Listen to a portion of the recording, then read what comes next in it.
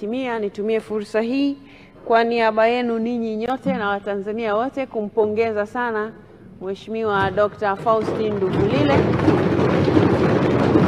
kwa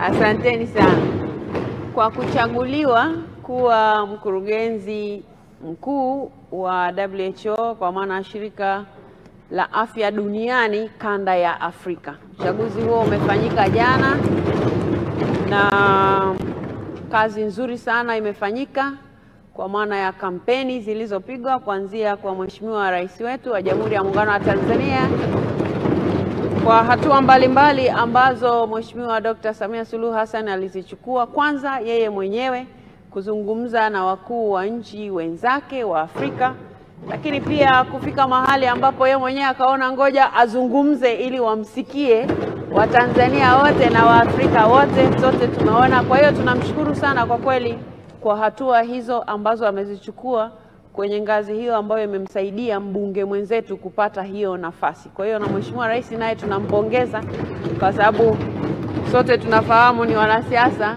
e, ukiingiza miguu yote miwili kwenye jambo unatamani ufanikiwe. Kwa hiyo tunampongeza sana Mheshimiwa Rais kwa jambo hili kubwa lililotokea. Ni heshima kubwa kwa nchi yetu kwa kweli ametuletea, uh, na Mheshimiwa Dr. Faustin Ndugulile tutampa salamu hizo atakaporejea, lakini hizi ni salamu za awali kwa niaba yenu wote na wote kwa kweli mliochangia kwenye jambo hili, wengine kwa maombi yenu, wengine kwa kumtia moyo, kumpigia simu, wengine kwa kupiga simu kwa hawa wapiga kura sehemu mbalimbali ya hapa barani Afrika.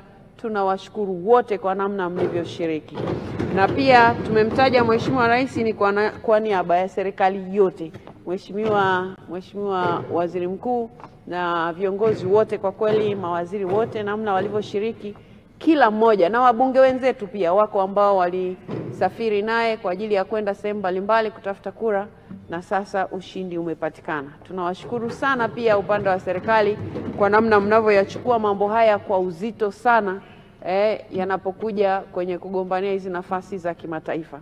Eh, mambo mengi yanafanyika lakini kwa ujumla wake tunawashukuru sana Watanzania uh, wote sisi Watanzania tunawashukuru kwa sababu heshima hii tunaipata sisi sote kama taifa. Baada ya kusema hayo, waheshimiwa wabunge, tunaendelea na ratiba yetu.